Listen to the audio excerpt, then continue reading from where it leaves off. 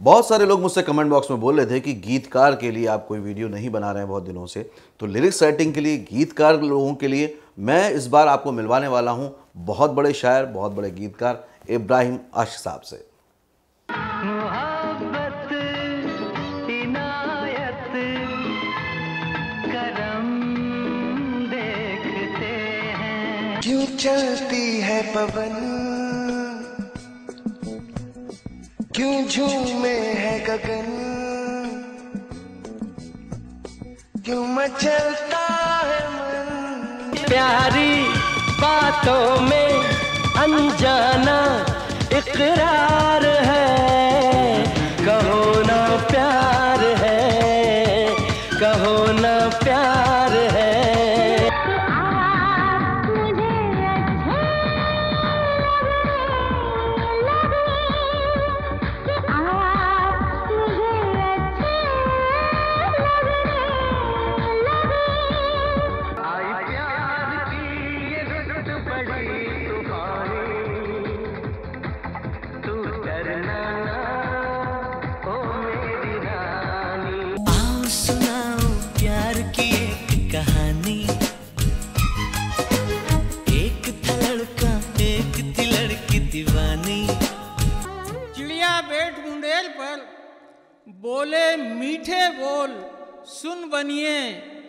बोल का कर सकता है मोल?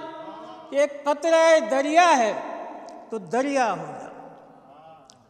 एक कतरा दरिया है तो दरिया हो जा। एक जर्रा सेहरा है तो सेहरा हो जा। एक कतरा दरिया है तो दरिया हो जा। एक जर्रा सेहरा है तो सेहरा हो जा। इस तरह गुजर अश्क हदों से अपनी एक शख्स अगर तू है तो दुनिया हो जा। एक नज़र देख के हम जान गए।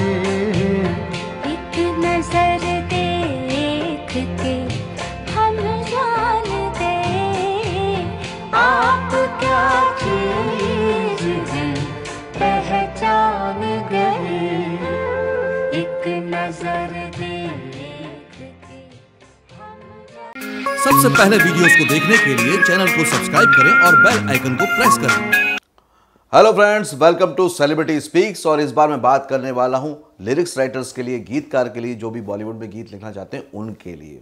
मैं मिलवाने वाला हूँ, जैसा मैंने आपको शुरू में बताया, इब्राहिम अर्श जी से, जिन्होंने बहुत हिट हिट गाने लिखे हैं, बहुत हिट गज़लें लिखी हैं।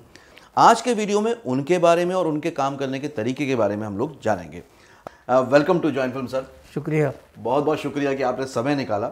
और आज का ये जो वीडियो बन रहा है ना, ये बहुत ही मज़ेदार बनेगा, बहुत ही ज्ञान से भरा हुआ होगा, खासतौर से उनके लिए, जो नए नए इस क्षेत्र में आना चाहते हैं, साहित्य में आना चाहते हैं या बॉलीवुड के लिए गाने लिखना चाहते हैं।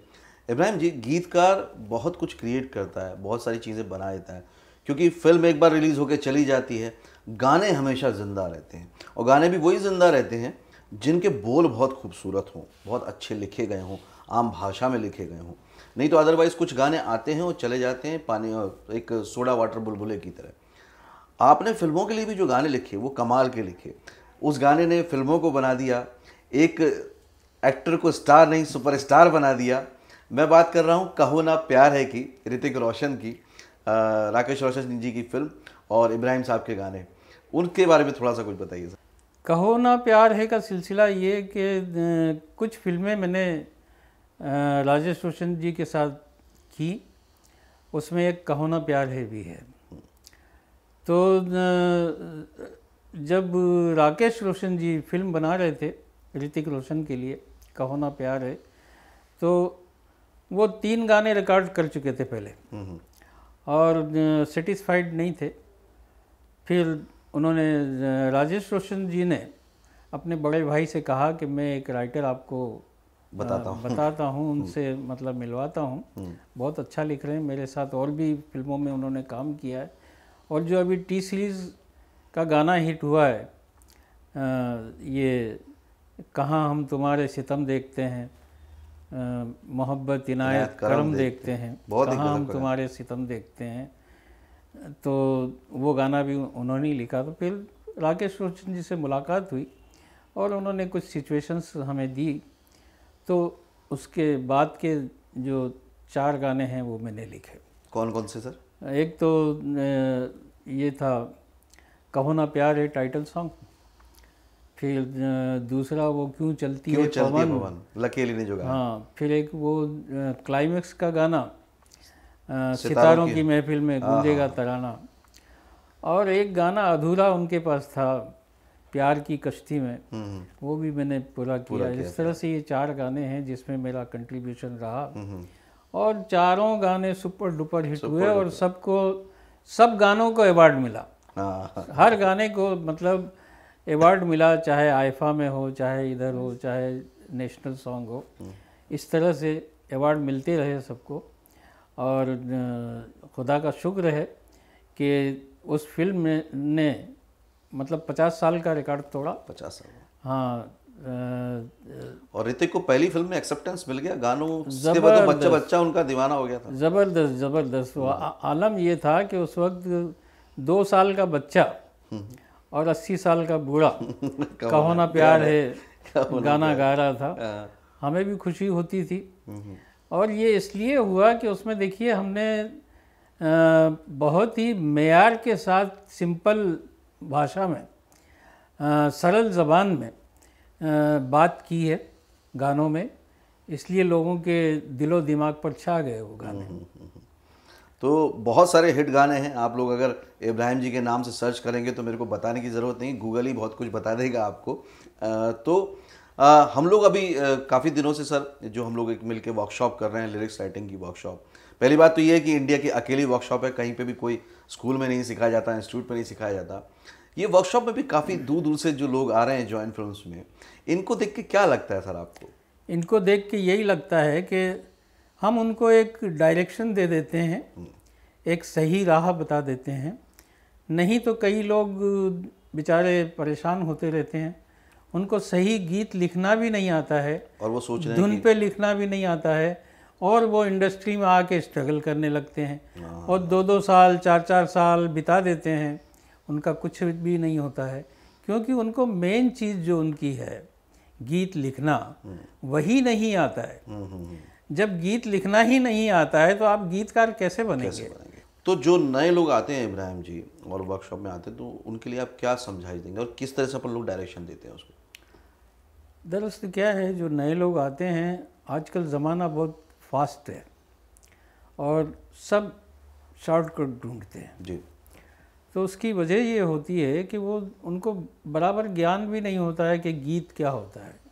गीत कैसे लिखा जाता है। जी जी। गीत में मात्राएँ क्या होती है या उनका मीटर कैसे देखा जाता है या कई लोगों को तो उसका ये भी नहीं मालूम कि इसका मुखड़ा क्या होता है। हम्म, हम्म, कई लोगों को ये भी नहीं मालूम कि इसमें अंतरा क्या होता है। हाँ फिर रदीफ काफिया तो बहुत दूर की बात रदीफ काफिया तो बहुत दूर की बात है मुखड़ा अंतरा ही नहीं मालूम है। हाँ, हाँ। और वो गीत लिखने के लिए बेचारे भटकते हुए चले आते हैं। और कितना खर्चा हो जाता है उनका बहुत खर्चा होता है तो हम उन लोगों को सही दिशा बताते हैं सही राह रास्ता दिखाते हैं कि भाई देखो इस तरह से गीत लिखा जाता है। ये गीत है।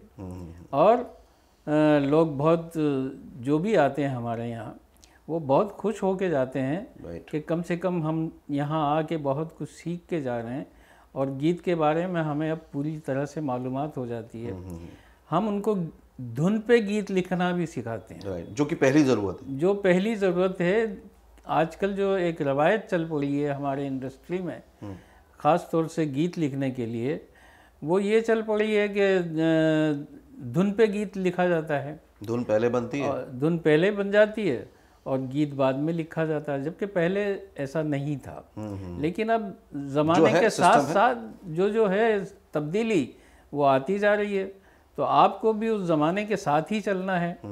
तो ये बात भी हम अपने स्टूडेंट को बताते हैं और वो बहुत अच्छी तरह से समझ कर भी बूझ के कर भी करते भी हैं सही बात। और सेटिस्फाइड होके जाते हैं यहाँ। सर मुझे ब्रीफ में बताइए जो शुरुआती सफ़र आपका रहा। शुरुआती सफ़र तो ये रहा कि मैंने 1962 में जब हमारे देश पर चीन का हमला हुआ था तो पूरे देश में देश प्रेम का एक इनकलाब सा आया हुआ था। जगह जगह कवि सम्मेलन हो रहे थे मुशायरे हो रहे थे। तो ऐसे ही एक कवि सम्मेलन में जो हमारे टाउन बड़नगर में अ, हाई स्कूल में मुनक्किद हुआ था वहाँ रखा गया था।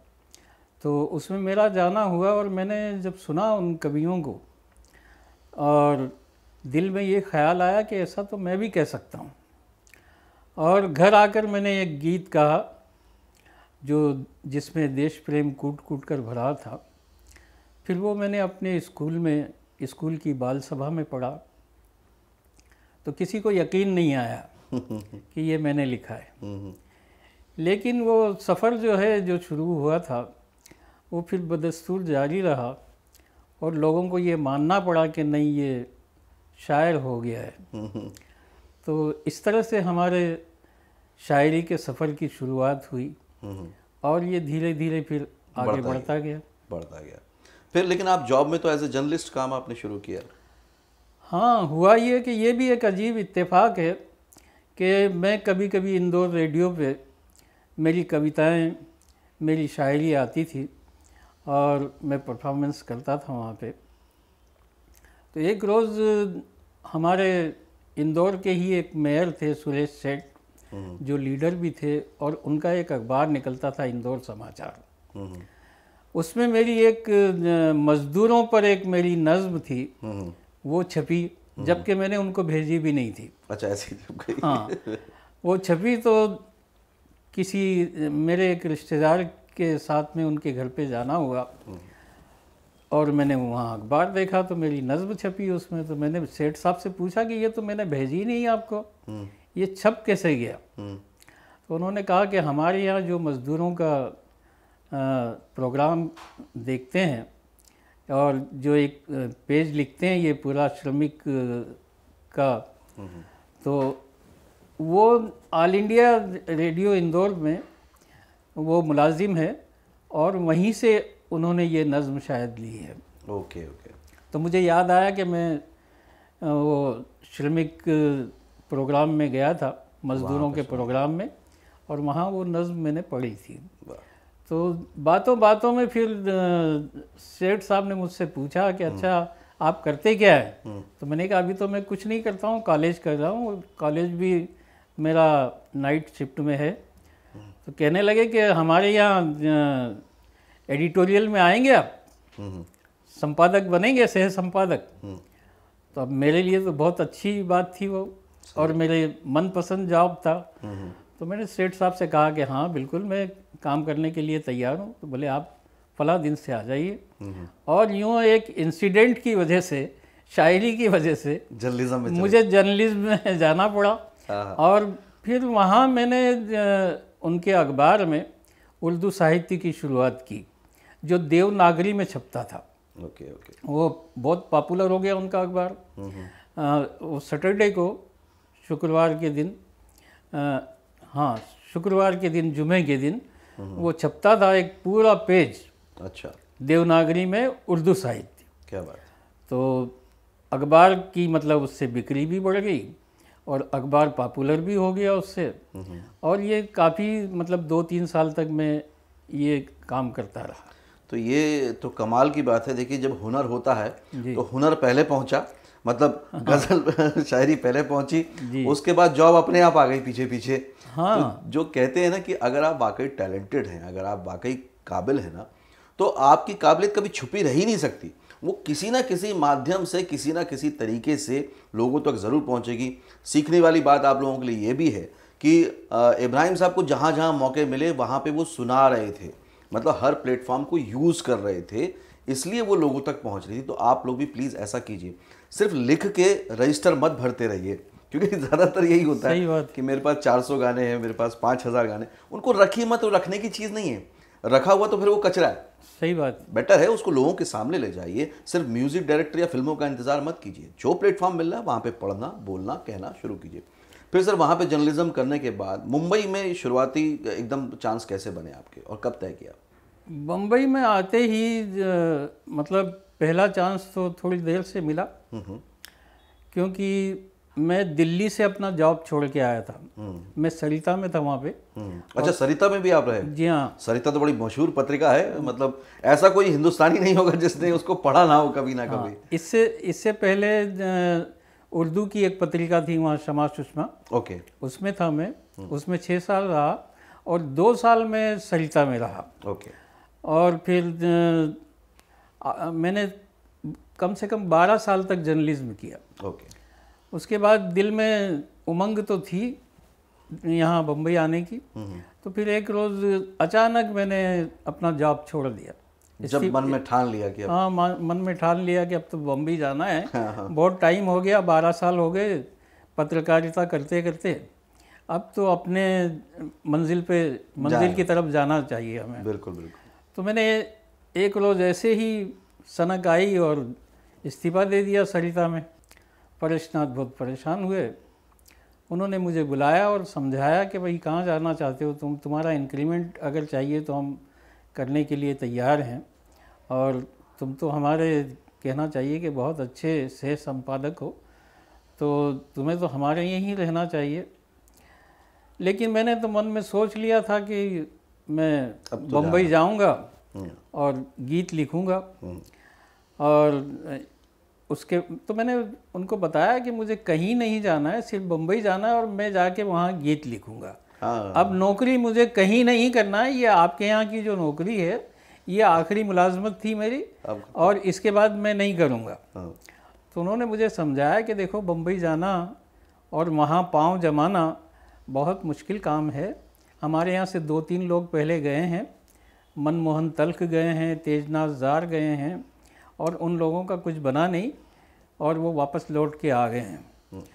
तो मैं मैं भी थोड़ा सोच में पड़ गया लेकिन मैंने तो सोच लिया था कि भाई अब बम्बई जाएँगे और अपन जद्दोजहद करेंगे। हाँ। जो भी होगा देखा जाएगा। उसके बाद की बात है। मैंने परेशनाथ से साफ़ साफ़ कह दिया। मैंने कहा मैं अब नहीं करूँगा परेश जी। मुलाजमत मेरा जी उठ गया। मैं बारह साल से ये पत्रकारिता कर रहा हूँ और अब मैं कुछ और करना चाहता हूँ ज़िंदगी में। ये ज़िंदगी बार बार तो मिलती नहीं है एक ही बार जो कुछ करना है वो कर लेंगे। तो कहने लगे कि देखो अच्छा तुम मैं तुम्हें बहुत चाहता हूँ तुमसे दोस्ती भी हो गई है तो मैं तुम्हें एक ऑफ़र देता हूँ। हम्म, तो मैंने कहा क्या ऑफ़र है? बोले तुम जाओ वहाँ पे बम्बई। हमारा ऑफ़िस है नरीमन पॉइंट पे तो वहाँ बैठना। और वहाँ से जो भी काम है। तुम करते रहना। हम्म, तो मैंने कहा मैं देखो दो नाव में कदम नहीं रख सकता। हम्म, हम्म, अगर आपके ऑफ़िस में बैठूँगा तो फिर ऑफ़िस करूँगा। तो फिर ऑफ़िस करना पड़ेगा। मैं इतना बेईमान नहीं हूँ कि ऑफ़िस में नहीं बैठूँ और तनख्वाह लूँ मुफ़्त की। सही बात। तो कहने लगे कि अच्छा फिर ये एक एक काम तुम कर सकते हो। मैंने कहा क्या? कि जो आर्टिकल तुम लिखते हो वो तुम लिख के हमें भेजते रहो। हम उसका पेमेंट करते रहेंगे। और वहाँ कुछ फिल्मी सितारे हैं जिनसे तुम्हारी मुलाकात होगी। उनके इंटरव्यू करना और वो इंटरव्यू हमें भेज दिया करना। उसका ले तो उसका पेमेंट हम कर देंगे। हम्म, हम्म, तो ये बहुत बड़ा ऑफ़र दिया था। बहुत अ, और मेरे पाँव उसी से जमे यहाँ पे। क्या बात है। नहीं तो बम्बई में मेरे रहने करने का कोई ठिकाना भी नहीं था कुछ भी नहीं था। और यहाँ मैं कैसे रहता? तो ये मुझे एक सहारा परेश परेशनाथ ने दिया। मैं उनका हमेशा शुक्रगुजार रहूँगा। मैंने काफ़ी अरसे तक यहाँ से फिर ख़बरें भेजी फिल्मी फिल्मी इंटरव्यू भेजे। और वो सरिता में और सरिता ग्रुप की दूसरी जो पत्रिकाएँ थी उनमें छपते रहे। और उसका पेमेंट मुझे मिलता रहा। जैसे सर्वाइवल होता रहा है। हाँ सर्वाइवल होता रहा। देखिए यहाँ पे कितनी अच्छी बात है आप लोग इस बात की गहराई को समझिए। मैं थोड़ा सा इन लोग को क्लियर करना चाहूँगा सर कि जब आपका हुनर अच्छा होता है और आपका एटीट्यूड भी अच्छा होता है आपका व्यवहार भी अच्छा होता है तो देखिए परेश नाथ जी ने किस हद तक एक के बाद एक ऑफ़र देते गए? क्या हर किसी का ऐसे साथ ऐसा होता है? अगर कोई बोल रहा है मेरे को जॉब छोड़ के जाना है तो बोलेंगे जाओ कोई बात नहीं चले जाओ।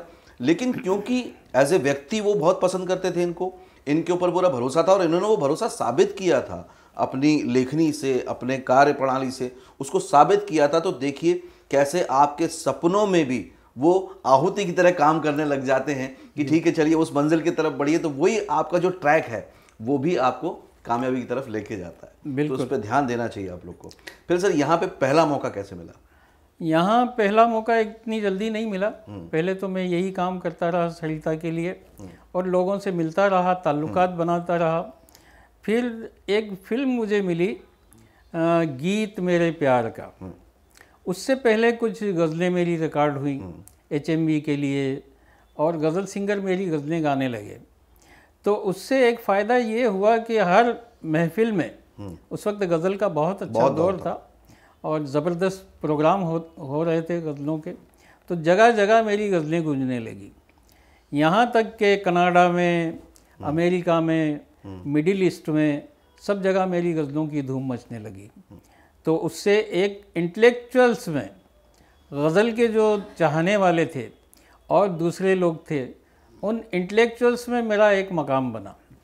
लोग मुझे अच्छी अच्छे वे में और अच्छे गज़लकार के रूप में अच्छे साहित्यकार के रूप में जानने लगे और एक इस तरह से मेरा मुकाम बना।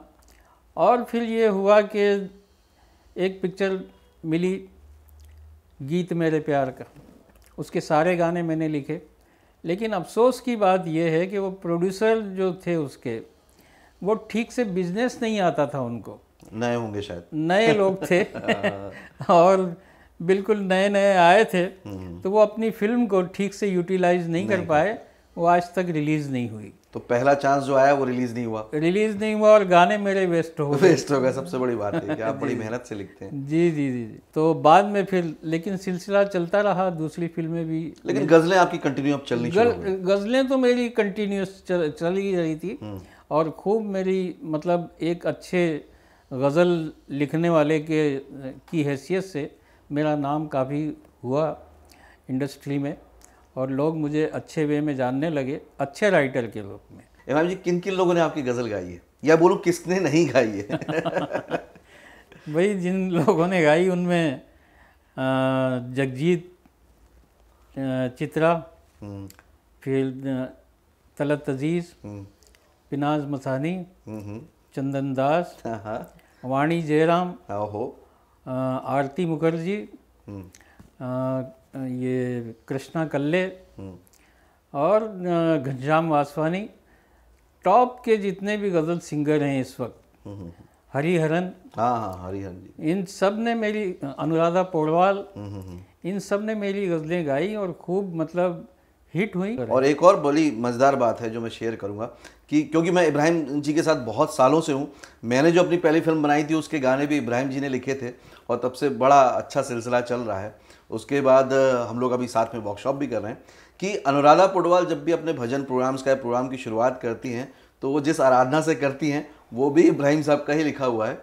वो उसके बारे में बताइए सर। हाँ वो तो बहुत ही एक ज़बरदस्त इंसिडेंट रहा। अ, दिलीप सेन समीर सेन के लिए मैंने फ़िल्म जीना मरना तेरे संग में जो टी सीरीज़ की ही फ़िल्म थी जिसमें संजय दत्त और रवीना टंडन थे। तो उसमें एक गाना था दिल एक मंदिर प्यार है पूजा प्यार से बढ़ के कोई ना दूजा।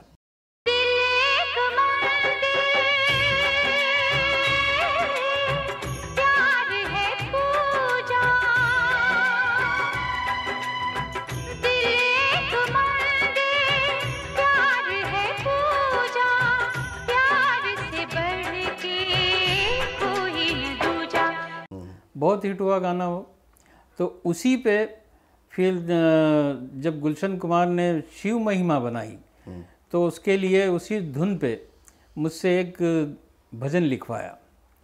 और वो भजन था मन मेरा मंदिर शिव मेरी पूजा शिव से बड़ा नहीं कोई दूजा।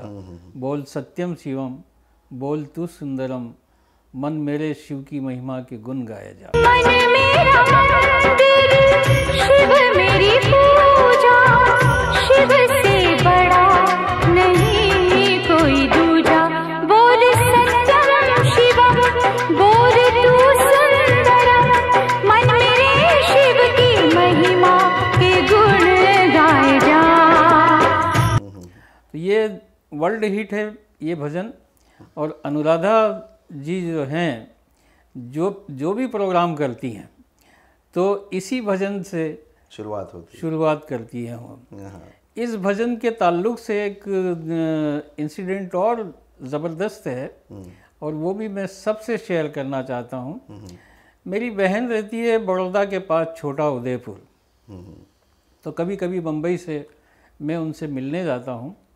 तो रात की गाड़ी से जब हम जाते हैं ट्रेन से। तो वो सुबह होते होते हमें वहाँ बड़ौदा उतारती है। अब वहाँ इंतज़ार करना पड़ता है। एक एक आध घंटे वहाँ इंतज़ार करना पड़ता है तब जाके अगली बस मिलती है। क्योंकि वहाँ से तीन घंटे का रास्ता है छोटा उदयपुर तो सुबह सुबह हो रही थी और धीरे धीरे दुकानें खुल रही थी। तो बस स्टैंड पे एक दुकान थी वो दुकान एक शख्स ने खोली और सब झाड़ फूंक किया उसने अपने दुकान का। उसके बाद में साफ़ सफ़ाई करने के बाद में उसने कैसेट लगाई और वो मेरा भजन था।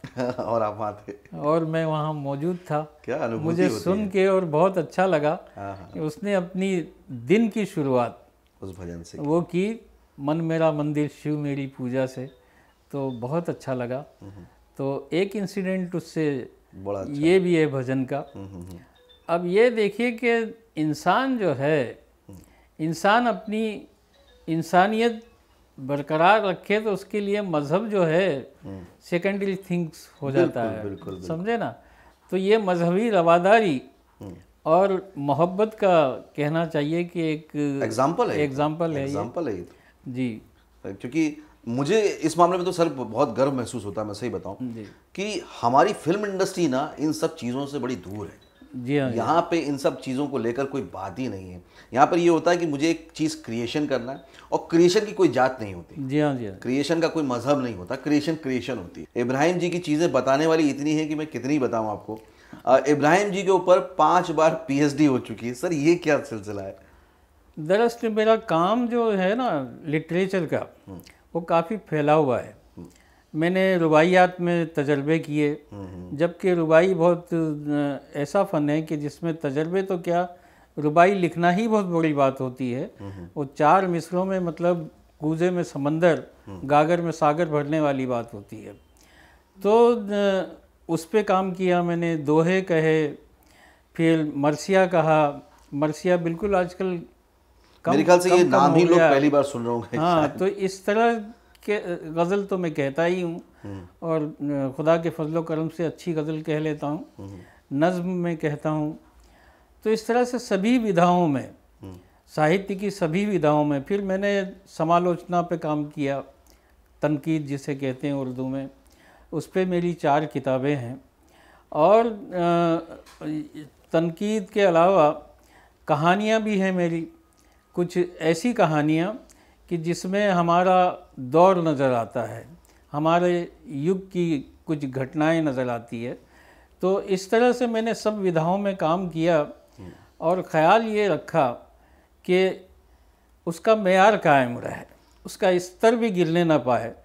तो अलग अलग विधाओं में काम करना और उसका मैार भी बरकरार रखना, ये बहुत ही एक अहम बात होती है।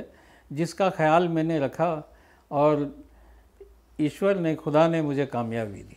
तो इस तरह से मेरा काम बहुत फैला हुआ है और यही वजह है, मुझ पे पीएचडी करने वाले स्टूडेंट को बहुत आसानी होती है और वो चार सौ, पाँच सौ सफ़ात तो आसानी से लिख लेता है, क्योंकि एक तो मेरी अट्ठारह किताबें हैं।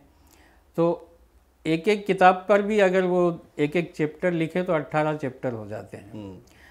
अब वो दोहे पे लिख सकता है, मेरे नज़म पे लिख सकता है, गज़ल पे लिख सकता है, रुबाइयात पे लिख सकता है, फिर जो मैंने पत्रकारिता की है, उस पे लिख सकता है। फिर कहना चाहिए कि जो मैंने मुलाजमत में मेरे जो एक्सपीरियंस है, उस पे लिख सकता है। तो इस तरह से उसको लिखते लिखते 500 700 सफ़ात तो वो आसानी से लिख लिख लिख लेता है। कई लोग पीएचडी करते हैं तो किसी के यहाँ सिर्फ़ गज़ल ही होती है, सिर्फ़ नज़म ही होती है, सिर्फ़ दोहा ही होता है, सिर्फ़ मरसिया ही होता है। मरसिया तो होता ही नहीं है, खैर। अनीस पे मरसिया ख़त्म हो गया। उसके बाद मरसिया कहने वाले गिने चुने ही कहीं आपको मिलेंगे, जो मरसिया कहते होंगे। ये जो विधा है, ये तो बिल्कुल ख़त्म होकर रह गई है। तो मैंने उसी विधा को नए सिरे से वापस ज़िंदा करने के लिए करबला एक किताब लिखी और उसमें सलाम लिखे मर, आ, मरसिए लिखे और इस तरह से उस विधा को फिर से ज़िंदा करने की एक कोशिश की। आपसे बातें बहुत सारी करनी है। और मुझे मालूम है कि एक वीडियो में पॉसिबल नहीं है। तो हम लोग थोड़े दिन बाद फिर से मिलने वाले हैं। तो उसके बाद मिलेंगे। तो मैं आपसे और भी बहुत सारी चीज़ें जानूँगा और इन लोगों को भी पता चलेगा जो नए लोग हैं कि कितने तरीके के गीत होते हैं या गज़ल होती है तो इनमें क्या डिफरेंस होता है? धुन में लिखें तो कैसे ध्यान रखें? तो इस पर हम लोग डिटेल वीडियो बनाने वाले हैं। और इब्राहिम जी के साथ हम लोग एक नई सीरीज़ भी शुरू करने वाले हैं। उसका भी बड़ा अच्छा प्लान किया है कि जितने भी पुराने शायर हुए हैं उनके बारे में इब्राहिम जी बताएँगे भी उनकी खासियत भी बताएँगे और उनकी जो चुनी हुई चीज़ें हैं वो भी आपके साथ शेयर करेंगे। तो ये सब आने वाला है। आप लोग बने रहिएगा वीडियो को देखते रहेगा अभी के लिए बहुत बहुत शुक्रिया सर। बहुत बहुत शुक्रिया। सो थैंक यू सर ये थे इब्राहिम अर्श जी। हम लोग तो खैर एक दूसरे को बहुत सालों से जानते हैं। मेरे लिए तो बहुत ही इंपॉर्टेंट बात है क्योंकि मेरी पहली फ़िल्म में इब्राहिम जी ने गीत लिखे थे और बहुत कमाल के गीत लिखे थे। आप भी जाइएगा यूट्यूब पे देखिएगा वाइफ है तो लाइफ है, फ़िल्म सर्च करेंगे तो आपको गाने मिलेंगे। बहुत ही खूबसूरत गाने थे। और उन्होंने जितने भी गाने लिखे, बहुत खूबसूरत लिखे, लेकिन सबसे बड़ी बात कि उन्होंने जो साहित्य में, जो लिटरेचर में काम किया, वो बहुत इंपॉर्टेंट है। और जिस तरह से वो बता रहे थे, देखिए, वो एक्सपीरियंस ना झलकता है। उनके काम करने के अंदाज में और उन्होंने जो ट्रैक पकड़ा, आप देखिए आपसे भी लोग बोलते हैं कि अरे यार जॉब कर लो शुरू में। तो जॉब उन्होंने किया शुरू में। लेकिन एक हद आने के बाद उन्होंने ये तय कर लिया कि नहीं, अब मुझे स्विच ओवर करना है। इस बीच में वो जान चुके थे, समझ चुके थे कि जो वो काम करते हैं, उसमें प्रोफेशनल टच है। क्योंकि उनकी गज़लें छप रही थी, वो ऑल इंडिया रेडियो पे जा रहे थे। तो हर जगह, हर प्लेटफॉर्म से उनको समझ में आ रहा था कि नहीं, जो वो काम कर रहे हैं, वो प्रोफेशनल तरीके से कर रहे हैं।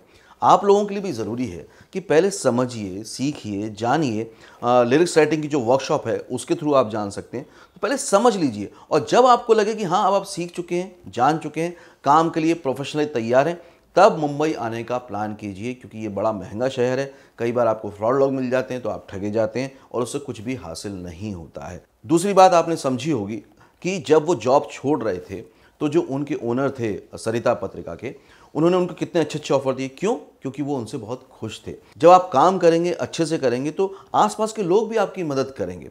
उसके बाद देखिए उन्होंने किस तरह से जॉब ऑफ़र कर दिया उनको मुंबई में। लेकिन एक बात, उन्होंने ये भी करी थी, जो सब लोग आसपास के लोग करते हैं, उन्होंने उनको ये बताया था, जताया था कि पहले भी तीन चार लोग जा चुके हैं और उनका कुछ नहीं हुआ है। जब आप भी प्लान करेंगे तो आपके घर वाले, आपके रिश्तेदार, आपके आसपास के दोस्त यार, बहुत सारे लोगों के नाम गिनाएँगे। कि जब देख उनका कुछ नहीं हुआ तो तेरा क्या होगा? लेकिन अगर आपके हुनर में दम है और सोच में भी दम है तो फिर आप उनकी बात नहीं सुनेंगे जैसे इब्राहिम जी ने नहीं सुनी। और वो सीधे चले आए मुंबई। देखिए, करियर ना ऐसे धीरे धीरे धीरे धीरे बनता है। मैं आप सभी लोगों से कह रहा हूँ जो नए गीतकार बनना चाहते हैं, प्लीज़ पहले अपनी चीज़ों को समझिए कि आप अगर प्रॉपर लिखते हैं तो ही मुंबई आइए। चाहते हैं तो तीन दिन की वर्कशॉप होती है इब्राहिम जी की। इतने बड़ी शख्सियत से आपको सीखने का मौका है, आप सीख सकते हैं। तीन दिन कभी भी निकाल सकते हैं आप। तो अगले वीडियो में हम लोग और ढेर सारी बातें करेंगे, बहुत सारी नॉलेज शेयर करेंगे गीतों के बारे में, गज़ल के बारे में। तो जो भी इब्राहिम जी ने अपने करियर में, अपने प्रोफेशन में जितना भी जाना, सीखा, वो सब आपको इस वीडियो में सिखाया। फिर मत कहना, नहीं बताया।